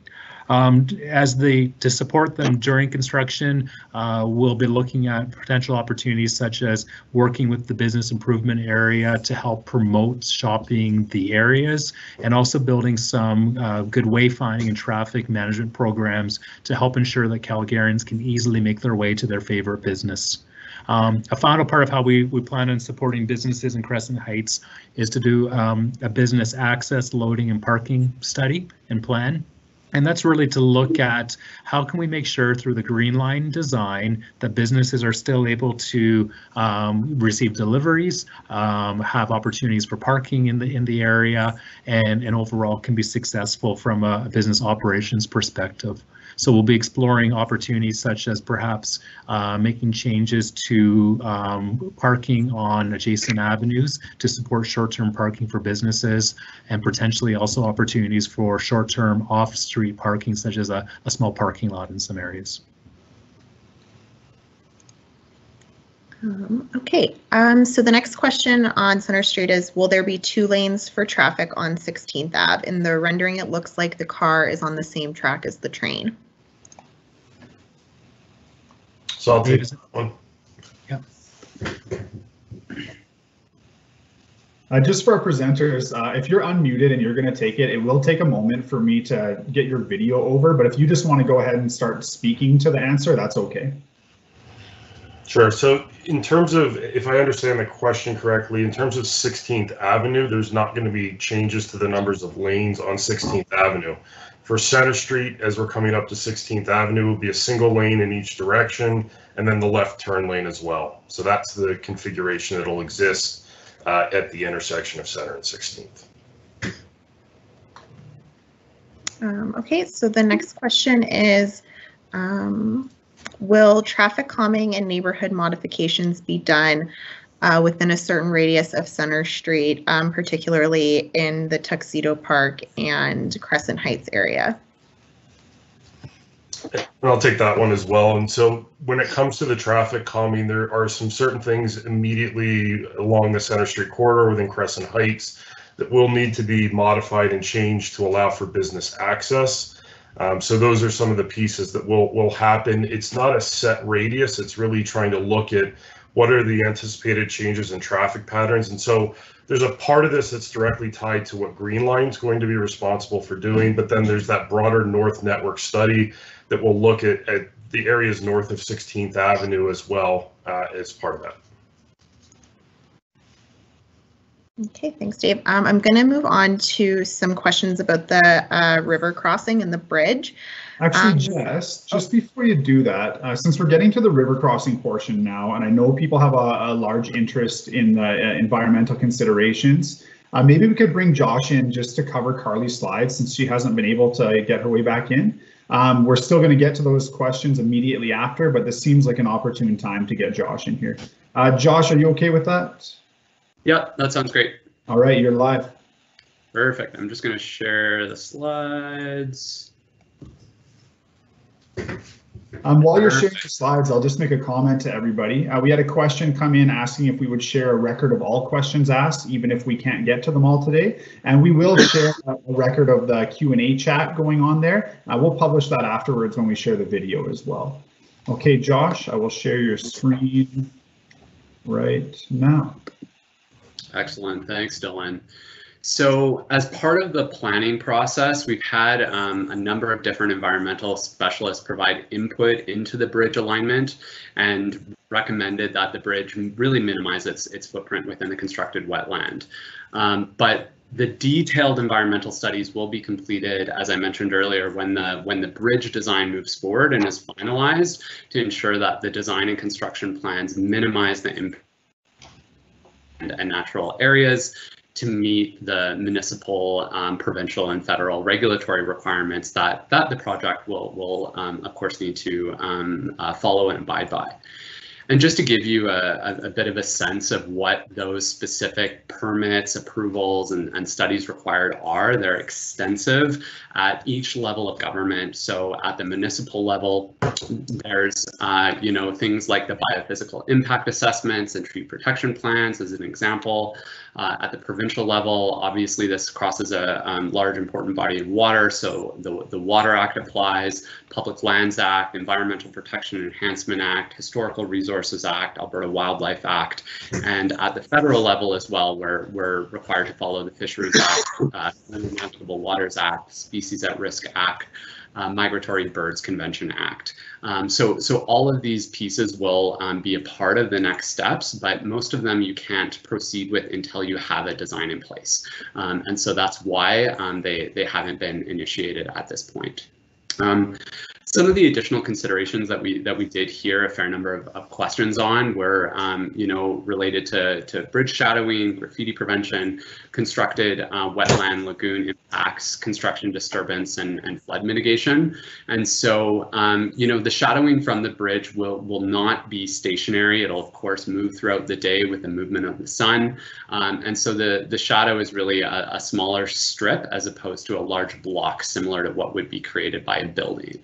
Um, the with respect to graffiti prevention, there's a number of different tools that can be used um, such as intentional art place. You might have seen something similar over in the East Village um, that discourages uh, graffiti. And there's also different material finishes that can be selected that allows for um, easy and simple removal of, of graffiti, um, along with the um, environmental considerations with design, which we call CPTED.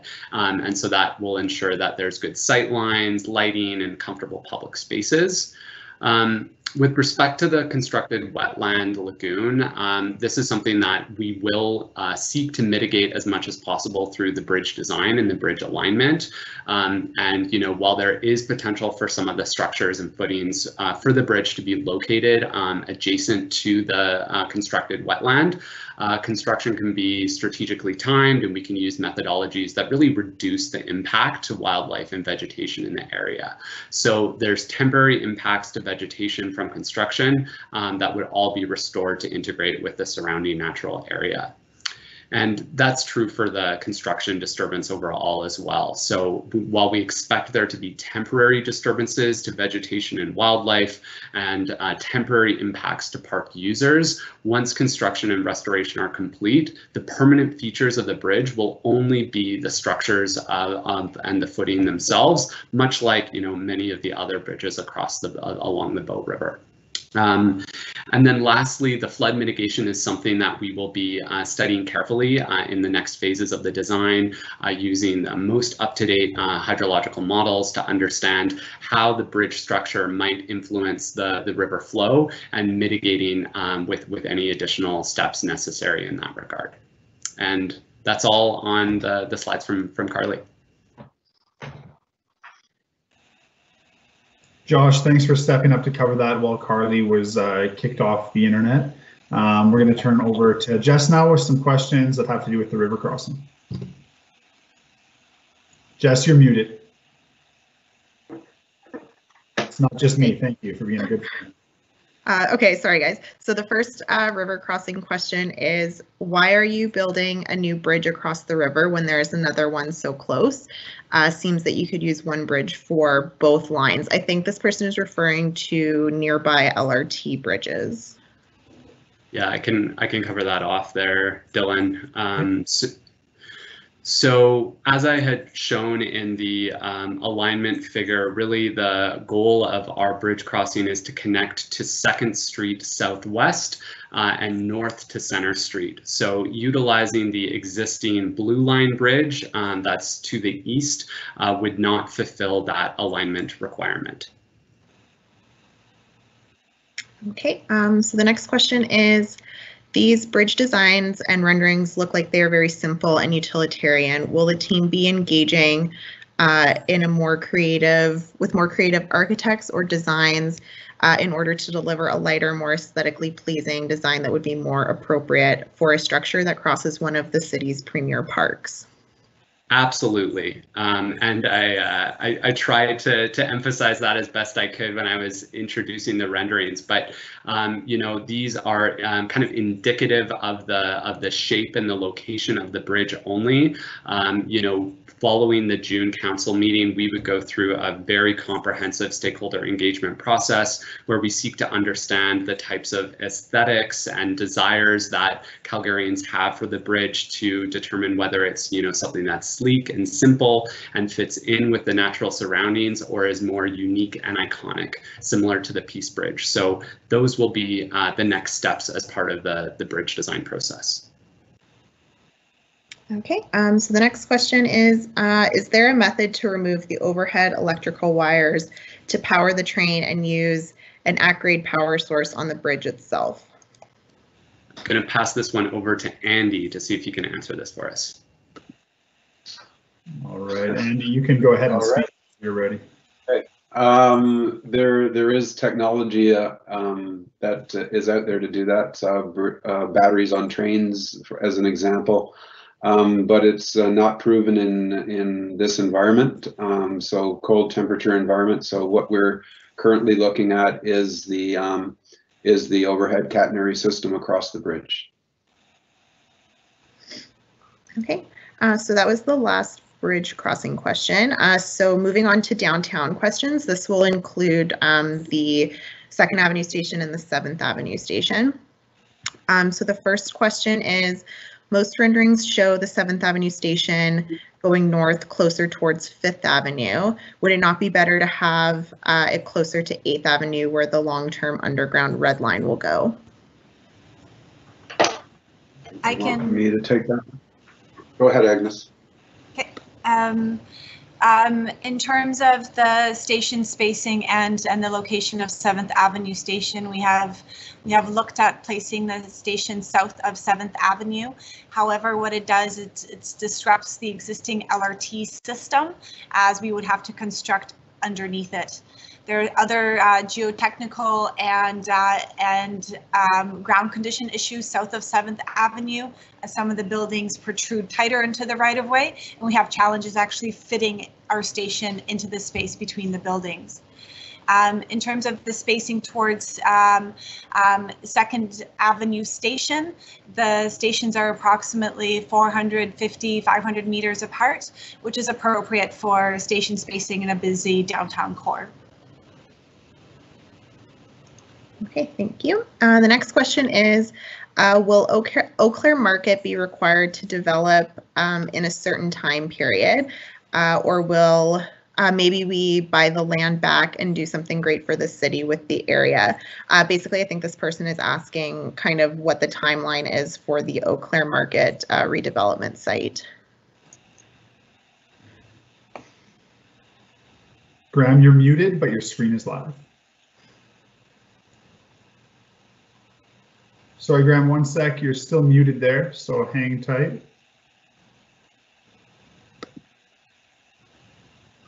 Okay, are you not able to unmute? Okay. Um, thanks for bearing with us for a moment here, guys. This is one of those uh, technology moments we're going to have to work with for a second.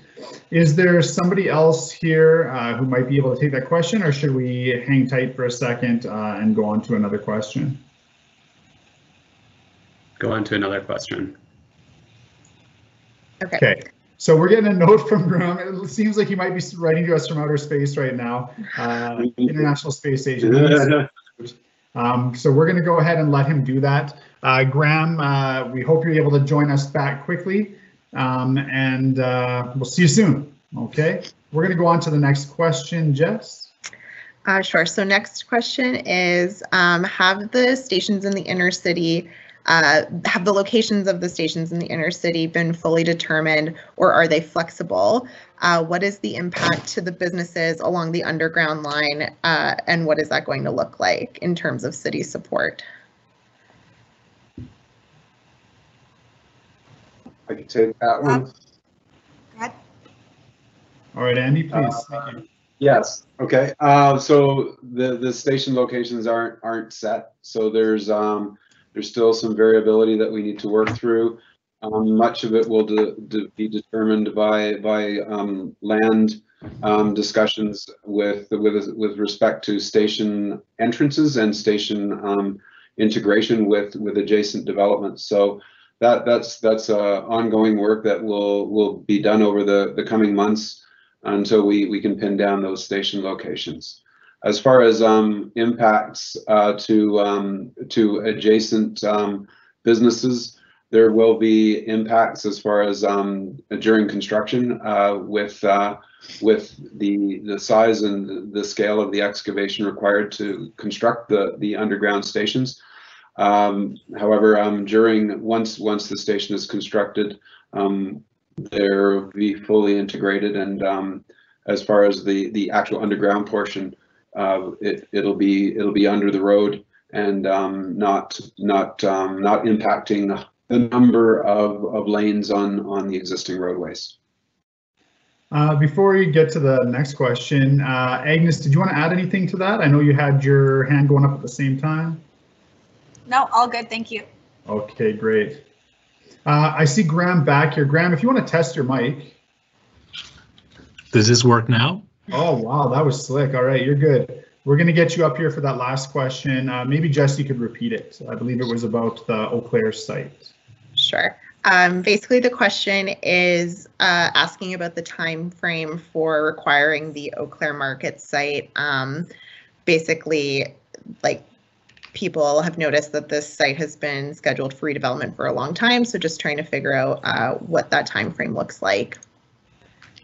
Yeah, and I think what that question's referring to is that when um, the Harvard Development purchased the Eau Claire site from the city uh, many years ago, there was a rebuild commitment with that purchase. And so um, they they have been waiting patiently for Green Line uh, to confirm what our allotment plans are in the area um, to to allow us to find these opportunities to integrate our developments with each other. Um, so I can't speak on behalf of Eau Claire Market and their development plans, um, but certainly um, the uh, the alignment and station design that we are recommending will require the market to be removed. And so I imagine that will help accelerate development times so that lot does not stay vacant. But again, I can't speak directly for what their development plans will be. Okay, thanks, Graham. Um, so the next question, we also did have a bit of um, a clarifying question around using the Centre Street Bridge for LRT. So I'm going to ask this question um, and kind of combine that. So uh, the question is, can you remind us why the line does not go straight down Centre Street into the downtown, but instead jogs over to the sec to Second Street as proposed? Uh, why not use Centre Street Bridge? Dave or Graham or one of you okay to take this one? Yeah, maybe I'll I'll start to jump in, uh, and I'm going to share my screen, Dylan, if this works okay. Okay. I'm just letting people know while you do that, Graham. We still uh, we were originally going to end around 1:30. Uh, it's 1:30 now. We still have 123 people watching, which is great. We're going to keep on going with the Q and A and uh, take it up to two o'clock. So uh, thanks everyone for the questions, and um, we're going to do our best to get through as many as we can. So I don't know if you can see the screen here. We have a photo of downtown and the Centre Street Bridge. Dylan, is that what is seen on the screen? Uh, it's loading right now, so let me uh, see if I can launch it over there. It looks like uh, I don't see an image, I just see a banner that says why build to 16th Avenue North today. Okay, well then I'll go back a slide. There you go. Yep, that looks good. Excellent. So, and I pulled up this graphic to help me visually demonstrate why that when we're building an LRT system, we're trying to to bring the LRT where the most jobs or populations are. And I called up this image here to demonstrate um, that Centre Street Bridge, if the alignment followed purely on Centre Street, the green line really would not be getting close into the heart of the downtown. And so our alignment is on two streets, so we're two blocks west of, of the Centre Street Bridge and getting closer into really where the major um, uh, commercial and um, in business areas are in the downtown environment.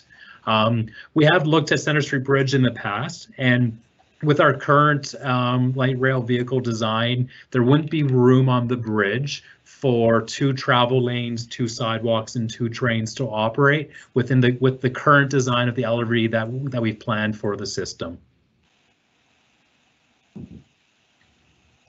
Thank you, Graham. Uh, Jess, you're muted. Uh, do you have another question? Thanks. Yes, I do. Um, so this one is about the uh, uh, BRT improvements that we're proposing. Um, so the question is on page 12 of your May engagement boards, you identify potential North Central BRT improvements. Are these improvements included in your budget and will these be part of the plan council will be asked to approve? So I'll, I'll jump in for that one. So the, the BRT improvements are uh, considered as we're, we're, we're, we're recommending that uh, part of the Green Line budget be used to support them. And the improvements would range anywhere from 50 million to 100 million dollars. Um, this is a conversation we'll need to have with our funding partners to ensure that they're comfortable using the budget to also support the North Central. And that would be a conversation that we would confirm uh, after council makes a recommend, uh, once council makes a decision on our recommendations. Thank you, Graham. Wow, Jess, with the next question. Um, yeah, so that was um, most of the questions that we got um, about the different focus areas. So I'm going to loop back to some of those general questions that we got about uh, stage one overall. Jess, just yeah. a suggestion as we go through those, in case we do have more for the focus areas, maybe we could go like uh, in that same order again and go three questions, three questions, three questions, or something like that, just to make sure we're doing an even spread around the areas. Yep, I can do that. We did get through most of the focus area questions, but uh, there's a few that are left over. Um, okay, so the first question is, um, if the green line is an investment in our future, isn't it a better idea to build it right the first time and not do the cheaper version above ground? So I'll, I'll address that question. Um, that was part of our exercise that we've just undertaken is, is to determine first what we feel is possible within our budget and, and to, to demonstrate first to ourselves as a planning team, do we feel that we are making the right recommendations? And, you know, the biggest change, I believe, that maybe this this person might be referring to is is running the train on the surface of Centre Street.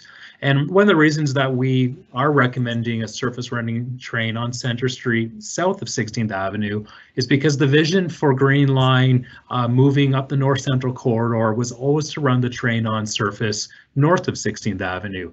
And so this is extending that northern vision uh, closer down to the Centre Street Bridge. And, and that's why we've been working to develop renders and and and planning design objectives to to design a system that can be well integrated into the street and work to achieve many of the interests and objectives of the neighborhood. So we're recommending what we feel is a good decision uh, with our current budget and the current time to to build a system to to support that long-term uh, vision for Calgarians. Okay.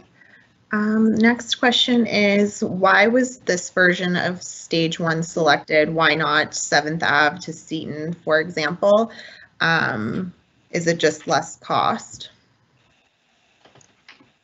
So I'll jump in with that, and Dave, feel free if you want to add more. Um, we we've been actually exploring different options, of different alignment permutations um, as part of our due diligence leading up to our council presentation on June 1. And we've been undertaking that to to confirm have we chosen the right alignment, or might there be um, better options for Calgarians? And through our analysis, we've determined that this alignment from the community of Shepard, so uh, 126th Avenue in the southeast, up to 16th Avenue, uh, provides the greatest uh, investment for Calgarians today. This will support the greatest number of, of riders on opening day and allows us to future-proof the system for easy, lower cost expansions to the north and to the south. If we were to stop Green Line Stage 1 in the downtown core, um, it will be a significant cost in the future to connect 7th Avenue or Eau Claire up to 16th Avenue um, for one or two stops. And as opposed to um, completing uh, Stage 1 at 16th Avenue North allows us to start expanding the system the same way that we've expanded the current red line and blue line systems with those one or two station incremental expansions. Um, okay, thanks. Um,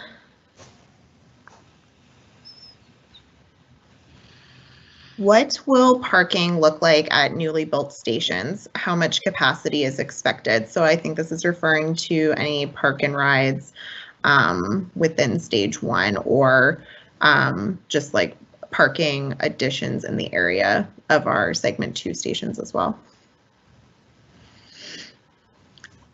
Andy, are you able to speak to the overall park and ride design of the system? Yeah, overall, um, there are park and rides planned um, at stations in the in the southeast at at Shepard, at Douglas Glen, at Quarry Park. Um, there's a, approximately 1,900 uh, traffic um, or, or, stalls um, planned as part of um, segment uh, segment one. as far as the the other stations in in the downtown core or the underground stations, there are um, no no plans for parking at the station.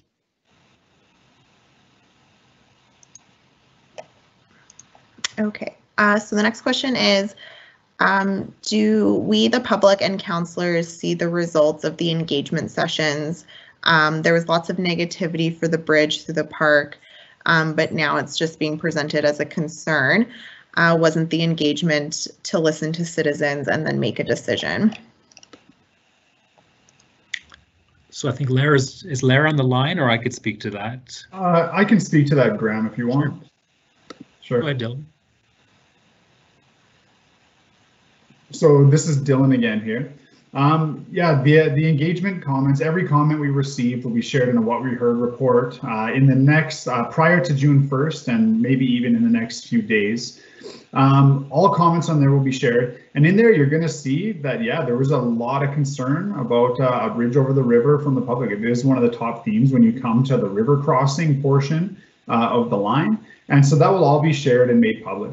Uh, at the beginning of engagement, we always try to be clear about what is our purpose of engagement and what we're asking. And with this engagement, as a, a recent round after years of engagement of understanding how people feel about the Green Line and the Green Line community, hopes and aspirations and, and fears and concerns. This round, we said that uh, we we're doing engagement to understand the opportunities and challenges associated with the updated stage one. And we're doing that to make sure that the project team and that the decision makers and counselors have a good idea and a good understanding of public sentiment and how people feel about uh, the Green Line as the changes have been recommended. Um, so all of those comments will be shared um, and that should be published on engage.calgary.ca uh, in uh, slash green line, sorry, engage.calgary.ca slash greenline uh, in the next few days.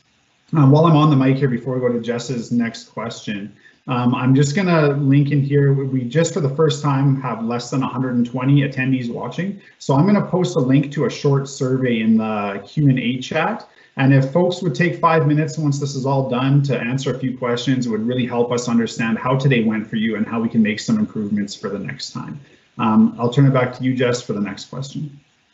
Sure. So the next question is actually about Centre Street. Um, it is, do you know how much more traffic will spill onto Edmonton Trail, 10th Street, 14th Street, and Crowchild, and what the impact will be to businesses and residents on those roadways?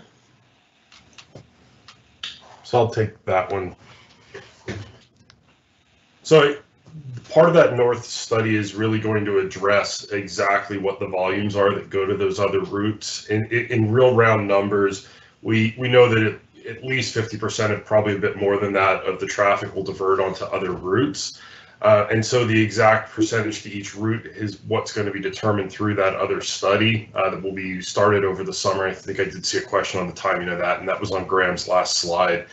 Um, but that's really what's going to determine exactly how much is going to those routes, and then really identifying where there's some key areas where improvements are required uh, in order to deal with that additional traffic load. Okay, um, so after the Q and A started, we did actually get a couple additional questions for the Beltline focus area. Um, so I'm going to ask those questions now. Um, so the first one is for the 11th Avenue Tunnel, will the surface traffic and condo parking access be affected?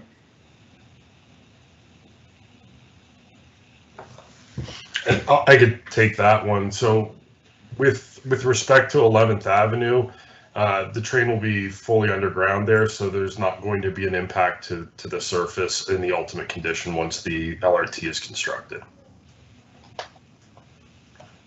And will there be any, there won't be any parking access issues either? No, it's gonna, it'll be all fully underground. Okay. Um, and the next question for the Beltline is, um, with the Fourth Street Southeast Station near the event center, um, and being underground, it's in a floodplain. Um, and that area was flooded in 2013. Uh, why not elevate it to a plus 15 level? Maybe we could ask Andy or Agnes to speak about the flood uh, design of the system. Sure, I can, I can take that. I'll Go, okay, Agnes. We're gonna let Agnes go this time. Andy called We'll dibs fight first. over, it. we'll arm wrestle. Pardon me? Go ahead, Agnes. Okay. Um, so in terms of the design um, design of our stations, uh, this is a consideration not only in the Beltline but also in the uh, in Eau Claire as well. Uh, part of the design process is to make sure that our station entrances are um, are above the the projected flood levels, and they're and we built in um, we built in that the station a little bit higher into the design and work to integrate it into the adjacent uh, um, adjacent uh, developments. Um, in terms of the portal as well, the portal does come up on the backside of the Victoria Park Transit Center.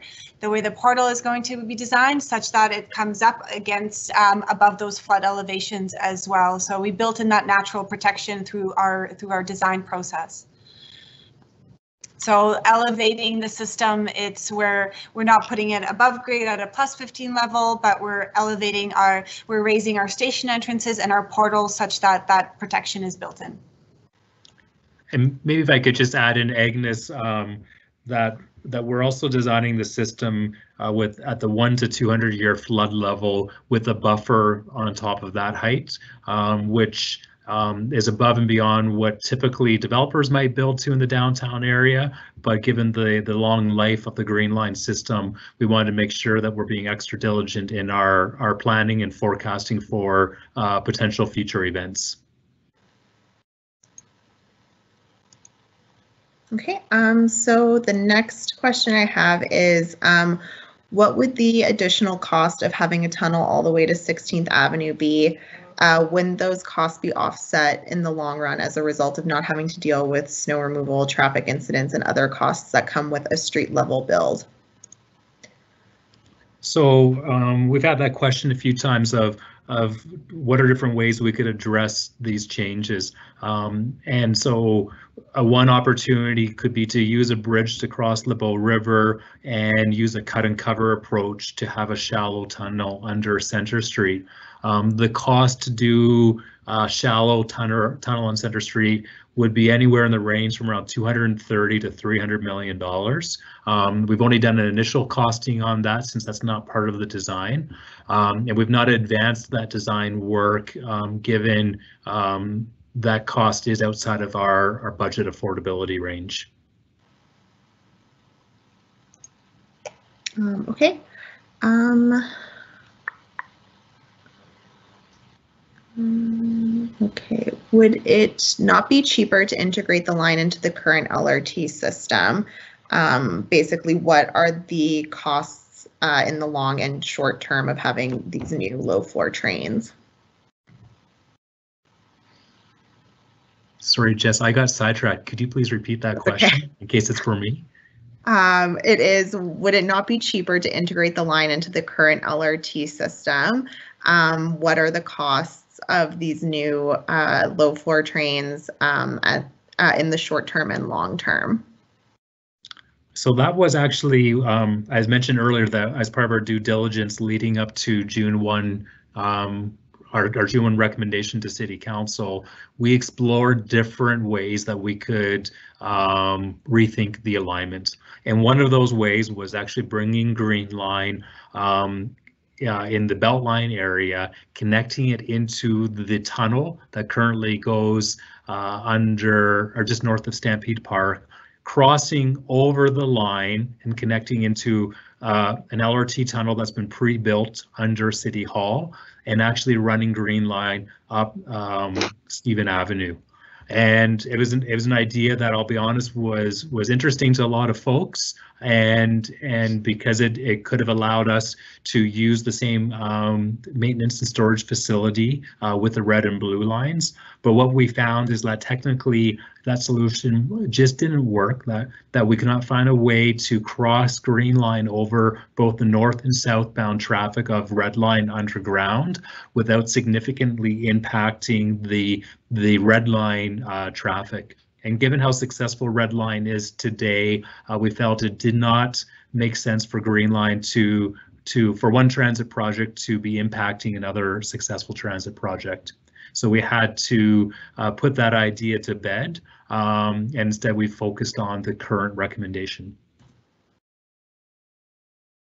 Okay. Um, The next question is why not have the Green Line move to run along Deerfoot and go to the airport and surrounding communities north and south? So I, I, I I'll touch on you know more of the the Centre Street, but maybe I don't know if someone on the team here was involved in the early day planning along the Nose Creek and could speak to that first. Thanks, Dave.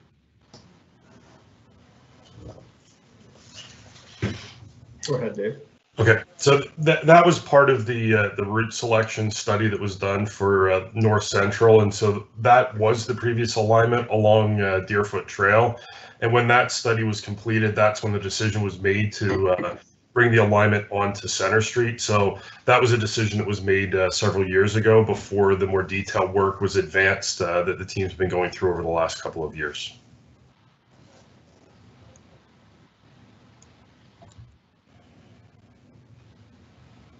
Okay, uh, Graham, did you have anything to add or no? No, I think Dave captured it there. Thank you. Okay, um, so the next question is um, if the additional studies that we're going to do prove that the assumptions made are not correct, what will the city do when it's too late to go back? Why can't you wait for these studies to get approval? So I, I don't know how to interpret that question. Um, so I'll interpret it and answer it in two different ways. If, if the question was around the due diligence studies where we're looking at ridership projections, um, those studies are are in their final phase of, of documentation. So we're aware of the results and those results have confirmed that the stage one alignment from 16th Avenue North to 160 126th Avenue Southeast is still the, the right investment for Calgary. When it comes to the other studies, such as the um, mobility studies um, in the north area, the intent of those studies really is to understand, as Dave mentioned, where people are going today and which parallel routes they might travel on in the future by motor vehicle. So we can identify and prioritize what kinds of improvements might help best manage uh, the increased capacity on those roadways. Okay, um, and so we have another just kind of general question. Um, so the question is, uh, $4.9 billion was the pre-pandemic budget. Uh, governments are now in serious financial trouble, as are many taxpayers. Why not a smaller Green Line project that recognizes these realities?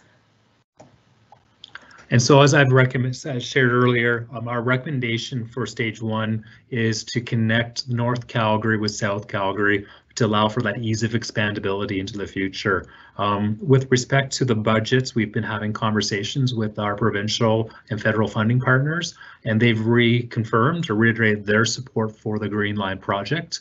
Uh, and so the really that's when we see the benefit of Green Line becoming more of that economic stimulus project, uh, in addition to building infrastructure to to basically get this Calgary ready for our comeback. Um, okay, and I have uh, another one. Uh, this is about Second Street um, alignment and station.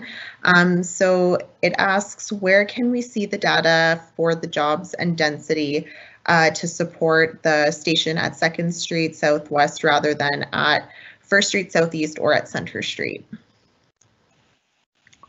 Uh, so I could start to answer that. Um, we had to see um, where that information is. I don't have it handy, um, but really what we're pulling is information on um, numbers of jobs uh, in areas. And that's when I was showing the image earlier that, um, as you can see, the tall towers, you know, around 2 Street Southwest, there's a much greater density of jobs uh, that work within that area within a 5 to 10 minute walking distance. As you move to Centre Street or even further over to First Street Southeast, we're really moving out of the, the core of the downtown. Uh, we'll have to get back to find out uh, where that information from the corporation, where it might be available. If I could just add on to that. Um, so on the city's website under the forecasting toolbox, that's where the data about the projections about job and population growth are. And if you click on the specifically the downtown one, it'll show you what, what the estimates are for downtown. Excellent. Thank you, Dave, for answering that. Thanks, guys. Um, I'm just doing a time check. It's 1:55, and I've promised to end by two. Uh, Jess, how many do we have time for one more question here? Uh, yeah, there's one uh, quick one. It's kind of a follow up about the park and rides and parking, um, particularly in segment two. So I could ask that one. Please do. Um, so it's a follow up, like I said. So as there is no park and ride plan for 16th Avenue Station, uh, what is the estimated ridership from that station um, after completion of stage one? And would this ridership justify doing this section at this stage? Dave, do you want to start that one?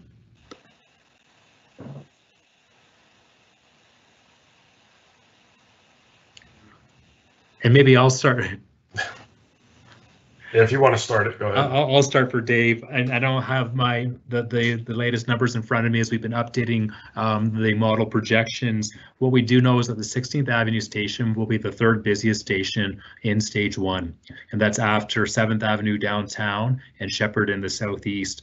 Um, there's a couple of reasons why 16th Avenue Station is so busy. Um, first, it, it's a major connection point with um, the city's Orange Line uh, Max BRT. And so you might imagine that um, citizens that live in Quarry Park might take Green Line up to transfer to the Orange Line, BRT. Um, to make your way to the hospitals that are east or west of that area, or to to be able to take the, the Max Orange BRT to get right to the front door uh, of your building on the university campus. Um, so we anticipate a lot of transfer points at that intersection, at that area. Um, we also know that there is a high density of population that lives around the 16th Avenue station, and it's probably one of the highest densities of, of populations along many of our stations um, over the whole Calgary Transit LRT network. I don't know, Dave, if you have more to add into that. No, I, th I think that covers it off. Okay, uh, I'm going to take this moment um, to just make a couple of closing remarks to end today's session. Uh, to the 162 people who joined us online today and to the 94 uh, still watching and attending, sincerely, thank you very much. Uh, I hope this presentation was useful to you. Again, we've shared a survey link in the Q&A, and if you could take, you know, two minutes or, you know, I said five, but I don't think it will take that long. A couple of minutes to let us know how today went. Did you have any glitches with the technology? How did the ratio of presentation to Q&A go for you? Uh, we'll really look at that um, and, and consider that for our next events uh, as we host them online. We do have another event. It will be the same format as today. The only thing that will be different will be the questions that come from you, the audience. Uh, that takes place tomorrow night starting at 7 p.m. and will go all the way up to as late as 9 p.m. Um, I want to remind just of a couple of things. This presentation will be shared online in the next couple of days, as will a record of the Q&A chat that uh, you were all contributing to and witnessing. Um, the what we heard report for the public engagement that was asked about will be posted shortly on engage.calgary.ca slash greenline. Um, I'm going to show you real quick just uh, the website where you can find a lot of this information. I'm sure many of you have been there before. Um, this is actually, since we relaunched information on the page uh, just last week, we've had about uh, 5,000 unique visitors uh, visit the page. And so this is it right here. Um, this is engage.calgary.ca slash greenline, as you can see up at the top. Um, when you come onto the page here, um, you're going to get all the information you need, including attending the live events, which you're doing today. Um, we also have instructions for successfully joining a live event. And if you scroll down just a little bit more, you can see this section here, which is participating in Greenline committee meeting on June 1st. And so in case you're curious, that information is posted here on the website. Um, and you can also dive into more information about segment one or more information about segment two to get some more information. On Sorry, here, we Dylan, also. I don't think you're actually sharing your screen there. I think it's just uh, you. Oh, really? Okay, sorry, it shows uh, that I'm sharing it. Well, nonetheless, no problem. What I've said still stands. Engage.calgary.ca slash greenline. You can find information about how to join uh, the committee meeting and where to get more information about the Greenline LRT. And we've also got some Q&A and uh, frequently asked questions documents on there as well. Um, uh, I think that's about it for today. Once again, I really want to thank uh, you, the attendees, for joining and for all our subject matter experts for being here. Uh, this is a different type of engagement than we've done in the past. Um, so I miss being in the same room as all of you uh, Greenline communities and Greenline guests um, and look forward to the next time we can do that. Until then, uh, you and your people stay well and uh, we will talk to you again soon. Take care. Bye-bye.